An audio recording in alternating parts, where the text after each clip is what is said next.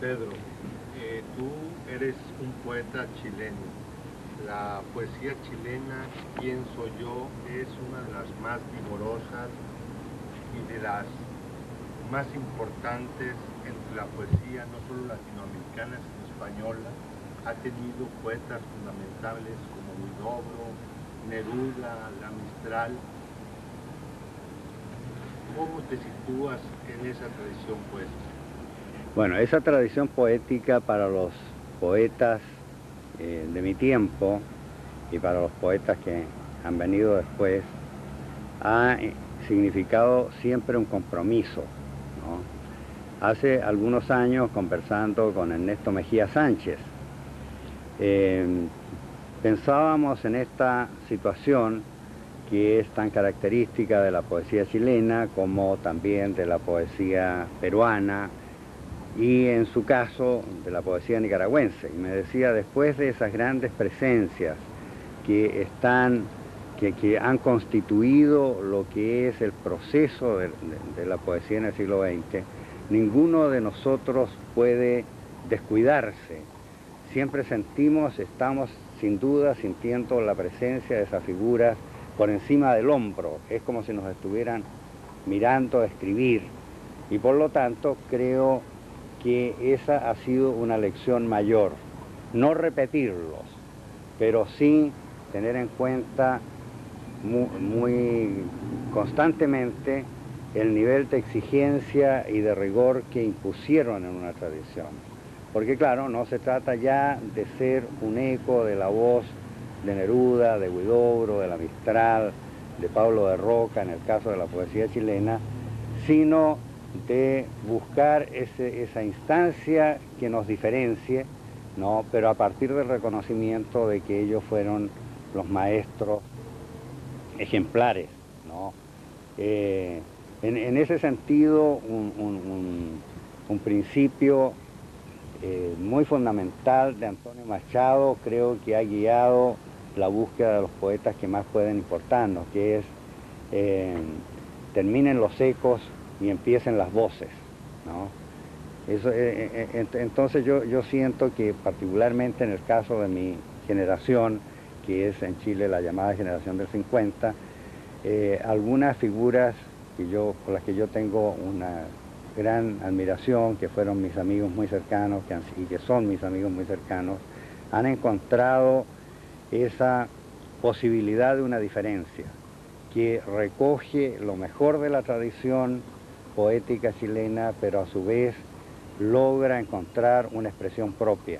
Sería el caso de Enrique Lin, una figura mayor de mi generación, de Jorge Teller, de Armando Uribe y de Alberto Rubio, por ejemplo, un poeta poco conocido porque es un hombre muy retirado de, la institución literaria, pero que debería lo más. Esa, esa me parece que es eh, la línea de conducta a que nos ha animado la presencia de esa tradición, la de los antecesores inmediatos. En, la generación inmediatamente anterior, las figuras de Nicanor Parra y de Gonzalo Rojas nos resultaron también ejemplares en ese sentido, porque ellos encontraron una primera vía de acercamiento y de diferencia, que fue muy eh, estimulante para todos nosotros. ¿Y cómo caracterizarías tu, poesía, tu empeño poético, tu escritura dentro de la tradición de la poesía chilena y dentro de, tus amigos de generación? Eh, yo, creo que más que a las eh, grandes figuras cuya ejemplaridad está siempre presente para nosotros, yo me he acercado a eh, las lecciones, a lo que yo llamaría las lecciones de un poeta como Gonzalo Rojas. No, siempre he dicho que Gonzalo Rojas fue la primera experiencia mía de eh, exigencia frente a la palabra. Gonzalo Rojas nos visitaba cuando éramos muy jóvenes, seguimos siendo amigos muy cercanos, pero cuando éramos jóvenes llegaba a nuestra casa y nos preguntaba qué están haciendo le mostrábamos algunos poemas, era mi caso, por ejemplo, y él lo leía y, empezaba a marcar con un, a, cerrar con un lápiz, ¿verdad? O con el dedo algunos versos. Y me decía, ¿qué pasa si este verso desaparece? Si este poema termina aquí, ¿no te parece que esto está de más, que esto sobra? Y de repente uno descubría los excesos. Entonces, este, esta petición de exigencia, que era de una gran gentileza por otra parte, decir, mira, lee este poema eh, sacando esto, ¿qué pasa aquí? y uno descubría que su entusiasmo por esos versos era un entusiasmo del momento, no un fervor eh, instantáneo, pero que podía perfectamente salir porque no era parte del todo, ¿no? Entonces ese sentido de la exigencia y del rigor es una lección que Gonzalo nos eh, comunicó desde muy temprano a todos sus amigos más jóvenes. Eh, por otra parte, mi acercamiento, que fue entrañable a una gran figura de la poesía chilena y de la literatura chilena en general, porque fue un prosista considerable y un ensayista o cronista también de, gran nivel, que fue Enrique Lin, eh, estuvo muy vinculado a mi formación. Él era dos o tres años mayor que yo, lo consideré siempre un hermano, un hermano mayor, ha muerto en 1988, una pérdida de la que me ha costado mucho recuperarme, y con el que hicimos algunos trabajos en conjunto como un libro de conversaciones, conversaciones con Enrique Lin que se publicó en, Veracruz, ¿verdad? Dirección, en las colecciones que dirigía Jorge Rufinelli y que después hemos editado en Chile. Te he procurado un ejemplar, creo, de esa nueva edición, porque la lucidez de Enrique Lin era muy extremada y su nivel de exigencia muy alto. Eh, yo creo que él es la figura mayor de nuestra generación, por lo menos para mí. Y en, eh, bueno, eh, en, otro sentido, la, la, presencia de mis lecturas de poetas como Fernando Pessoa, como T.S. Eliot, como Cavafis, en fin, me han llevado a, buscar un cierto tono, eh, yo, no diré si eh, eh, los, productos alcanzados tienen tal o cual mérito, he querido sí marcar ahí una pequeña diferencia de mi relación con lecturas, que por otra parte tienen mucho que ver con mi afición por la pintura y por la música. Entonces los procesos intertextuales en, mi trabajo poético son eh, más o menos marcados también. Y una eh, preocupación por la brevedad, ¿no? el temor de que sobren demasiadas palabras en mi poema, ¿no?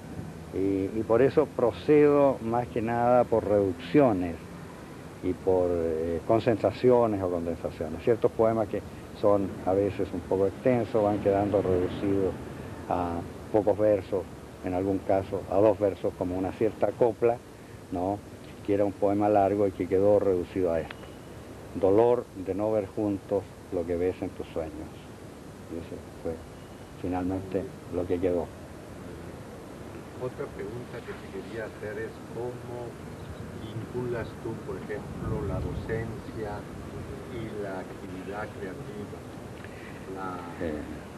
también eh, eh, la naturaleza crítica o ensayística de tu obra con la creación. Claro, eh, yo soy un profesor de literatura, he ejercido por muchos años en la Universidad de Chile y por un largo periodo en la Universidad de Nueva York, en Stony Brook, donde empecé a trabajar en 1972 y de la que retiré, me jubilé en 1994. Es una larga eh, eh, permanencia en, en el espacio docente. Yo creo que a mi trabajo como profesor de literatura hispanoamericana le debo mucho, desde luego por la importancia que tiene y la, exigencia que impone para un profesor la, lectura continua de la, del acervo literario general. En ese sentido, por ejemplo, enseñar literatura hispanoamericana me ha, mantenido en, una constante vinculación con la poesía española, desde la literatura medieval hasta el presente, porque en, algunos casos di seminarios o cursos sobre literatura colonial, por ejemplo, y, en ese punto la presencia del, pensamiento y de la acción literaria de los escritores del Renacimiento español era absolutamente central. Y, por otra parte, porque más que un crítico, más que un profesor, yo me defino como un lector, ¿no? Mi vocación es la de lector y de relector, ¿no? Y, en ese sentido eh, hago mía una expresión borgiana que dice, otros se pueden enorgullecer de los libros que han escrito, yo me enorgullezco o quiero enorgullecerme de los libros que he leído. Entonces, eh, lo, que más hago es leer, así como lo que otra de las cosas que hago mucho también es escuchar música o visitar museos, y esas son pasiones y fervores continuos. Entonces la presencia de la, literatura española y de la poesía española ha sido muy eh, constante. Incluso he dirigido algunas tesis sobre poetas españoles, pero dirigí una tesis doctoral en Stony Brook sobre Francisco Brines. Y, siempre he estado eh, tratando de eh, acoger esa tradición y de difundirla. Hay un libro más o menos reciente, publicado en 1997, que se llama con un título que les va a parecer un poco eh, pretencioso, se llama Los 100 mejores poemas de amor de la lengua castellana. Eh, claro, yo no pretendo ni mi coautor, que es mi amigo el traductor griego y poeta Rigas Capatos, que esos sean los 100 mejores poemas de la lengua castellana. lo son para nosotros y lo fueron en un instante para nosotros. Esa antología que ha tenido una gran repercusión, se ha publicado en edición bilingüe en Grecia, en griego y español, en inglés y en español en Estados Unidos, y ya van siete ediciones en, español solamente en una editorial chilena y una en una editorial eh, de Barcelona, ¿no? Se empieza con Juan Ruiz, con un fragmento de, Juan Ruiz, ¿no? Sobre las virtudes que las mujeres chicas han, ¿no? Sigue con Garcilaso, con eh, García Sánchez Badajoz, con eh, Quevedo, Francisco de Medrano, Góngora, en fin, Machado, Baker Machado, eh, hasta, Miguel Hernández, y con una cantidad de poetas hispanoamericanos en, una disposición cronológica. de manera que yo siento que la poesía en lengua española es una, ¿no? Y es lo que hemos estado conversando y señalando en estos diálogos, que lo sentimos como diálogo de la poesía hispanoamericana con la poesía sevillana, donde el, reconocimiento y la necesaria exaltación de lo que es la gran poesía sevillana, el maestro de la poesía sevillana, implica esta, esta nota, que esa eh, que este espacio poético ha estado presente de manera muy viva en mi poesía, no, y en, nuestra poesía. Les puedo citar solo un caso, hay, un pequeño poema mío que termina con un verso de Herrera, de, de Fernando Herrera. Pasó cual rota niebla por el tiempo. Ese no es un verso mío, sino que es un verso robado a eh, Fernando Herrera, que naturalmente puse entre comillas, ¿no? Eh, Enrique Lin hizo todo un libro que se llama El bello aparecer de este lucero, que es un verso de Herrera también, y donde el subtexto es una historia de amor que remite a menudo a lo que fue la circunstancia, a la peripecia vital de Fernando de Herrera. Y, por, otra parte, claro, el hecho de que eh, nuestras publicaciones, así como las tuyas, eh, estén dándose, estén haciéndose también en Sevilla. Sí, eso ya es lo que iba a mencionar, la publicación. Eh, por último, creo que es importante tu vínculo con Sevilla en este momento, no solo con Sevilla, sino con la poesía sevillana y en concreto con una publicación, la publicación, la, la revista Sevilla que te ha publicado un cuaderno, un librito lado Canción del Pasajero y quería que nos hablaras un poco de esto. Ya, e, esta vinculación con Sevilla, que es una vinculación feliz, empezó el año pasado, como tú bien sabes, en la realización, durante la realización del primer diálogo o el primer encuentro con la poesía hispanoamericana, que se realizó aquí en Sevilla con asistencia de cinco poetas hispanoamericanos. Y de aquí este segundo encuentro es una continuación que me parece a mí muy, muy logrado. Entonces, eh, eh, la revista Civila que dirige nuestro amigo Juan Carlos Marcet ha acogido las publicaciones, los poemas de, los poetas participantes, los escritores participantes en estos dos encuentros, a los que esperamos que sigan otros, y eh, se han estado publicando nuestros poemas allí, por lo tanto esa revista está juntándonos a todos con todos también. Yo me siento muy feliz de que en esta nueva etapa de la revista Civila de Sevilla eh, aparezca una selección, un grupo de 18 poemas que son poemas inéditos, posteriores a la, a la última publicación en libro que hice en Chile que se llamaba Noticias del extranjero. Esto algo cacofónicamente se llama Canción del Pasajero, después reparé en esa cercanía eh, eh, de, las palabras, y, voy a leer un poema que cierra ese pequeño libro recién editado por la revista Civila como una separata del número 7. se llama Presencia del Amor. El tiempo del amor es el presente, el presente que todo lo contiene, la aparición real de tu alma y tu cuerpo, lo ilusorio de ti, tu encantamiento, también tu lejanía, a veces solo un nombre y una voz que yo escucho claramente a mi lado es un sueño, es un pájaro o el rumor de una fuente. Y aunque estés o no estés, sueño y pájaro y fuente han detenido el tiempo, como en la vieja escena contada en una fábula.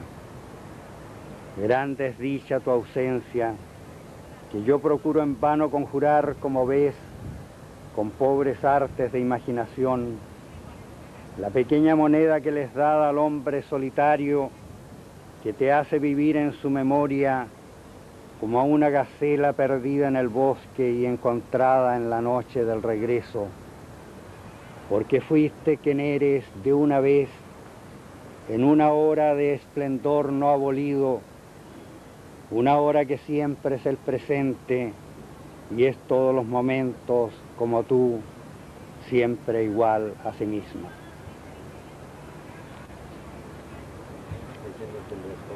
Otro poema ya no de ese libro, sino del libro anterior, un poema relativamente breve, que se titula Ya hablaremos de nuestra juventud.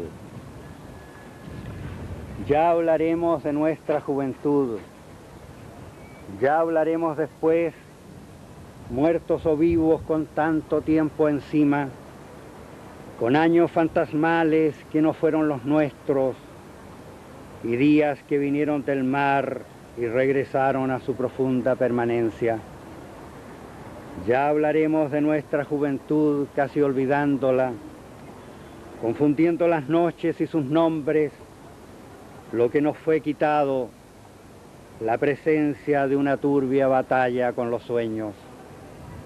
Hablaremos sentados en los parques como 20 años antes, como 30 años antes, indignados del mundo, sin recordar palabra, quiénes fuimos, dónde creció el amor, en qué vagas ciudades habitamos.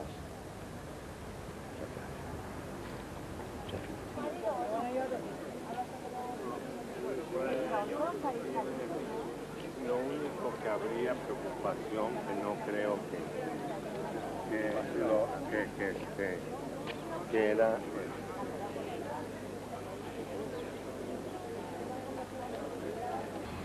de Antonio Machado el poema Profesión de Fe de su libro Campos de Castilla. Dios no es el mar, está en el mar, riela como luna en el agua o aparece como una blanca vela. En el mar se despierta o se adormece, creó la mar y nace de la mar cual la nube y la tormenta. Es el creador y la criatura lo hace, su aliento es alma y por el alma alienta. Yo he de hacerte mi Dios, cual tú me hiciste, y para darte el alma que me diste, en mí te he de crear, que el puro río de caridad que fluye eternamente, fluya en mi corazón, seca, Dios mío, de una fe sin amor, la turbia fuente. Y ahora un poema de Federico García Lorca titulado Mi niña se fue a la mar. Mi niña se fue a la mar a contar olas y chinas, pero se encontró de pronto con el río de Sevilla. Entre adelfas y campanas, cinco barcos se mecían, con los remos en el agua y las velas en la brisa. ¿Quién mira dentro de la torre enjaezada de Sevilla? Cinco voces contestaban, redondas como sortijas. El cielo monta gallardo al río de orilla a orilla. En el aire son rosado, cinco anillos se mecían.